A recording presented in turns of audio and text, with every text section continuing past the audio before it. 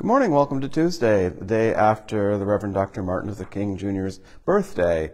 And if you weren't in church or you didn't watch the live stream of our service on Sunday, I really encourage you to do so. It was a real highlight service here and uh, very powerful. And again, I, encourage you to go to YouTube uh, and uh, look us up.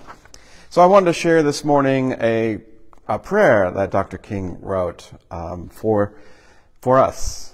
So let's pray. Most gracious and all wise God, before whose face the generations rise and fall, thou in whom we live and move and have our being, we thank thee for all thy good and gracious gifts, for life and for health, for food and for raiment, for the beauties of nature and the love of human nature.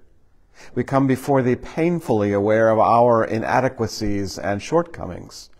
We realize that we stand surrounded with the mountains of love and that we deliberately dwell in the valley of hate. We stand amid the forces of truth and deliberately lie. We are, are forever offered the high road and yet we choose the low road to travel. Forgive these sins, O God. Break the, spe- the spell which binds our minds. Purify our hearts that we may see thee.